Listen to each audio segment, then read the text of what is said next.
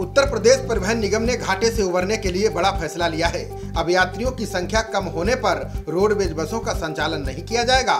इस नए नियम से रोडवेज़ भले ही अपना मुनाफा बढ़ाने की कोशिश कर रहा है, लेकिन इससे यात्रियों की मुसीबत बढ़ना तय है। यूपी रोडवेज़ के नए नियम के अनुसार अब दिन में 35 और रात में 25 से कम सवारी होने पर रोडवेज़ बसों का संचालन नहीं किया जाएगा। परिवहन निगम की अपर प्रबंध निदेशक अन्नपूर्णा गर्ग ने इस संबंध में आदेश जारी किया है।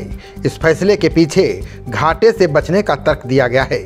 आदेश में कहा गया है कि सितंबर में यात्रियों की संख्या कम होती है। सितंबर के अंत में श्राद्ध और उसके बाद नवरात्रि शुरू होंगे।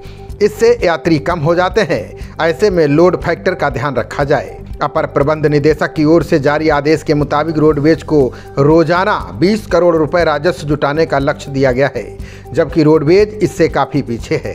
इसे देखते हुए 55 प्रतिशत से कम लोड फैक्टर होने पर रात्रिकालीन सेवाएँ संचालित ना की जाएँ।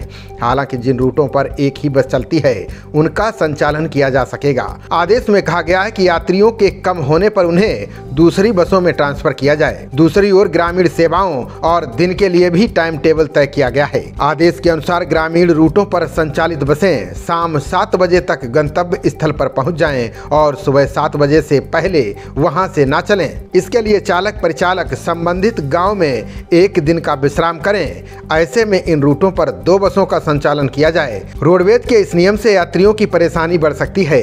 अगर कोई यात्री ग्रामीण क्षेत्र में शाम सात बजे के बाद कहीं फंस गया तो उसे बस मिलना मुश्किल हो जाएगा। बता दें कि यूपी में करीब ग्यारह हज़ार बसों का संचालन प्रतिदिन किया जाता है। इनसे औसतन 17 करोड़ रुपए प्रतिदिन की आय होती है।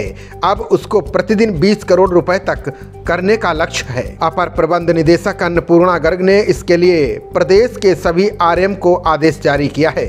मतलब साफ़ है कि अब एक दिन में तीन करोड़ रुपए की आय बढ़ानी होगी। यहाँ गौर करने वाली बात यह है कि यूपी रोडवेज़ में एक दिन में 17 लाख यात्री सफ़र करते हैं, लेकिन उसके बाद भी विभाग का घाटा कम नहीं हो रहा है। खबरों का सिलसिला जारी रहेगा। देखते रहिए जनप्रवाद। नमस्कार।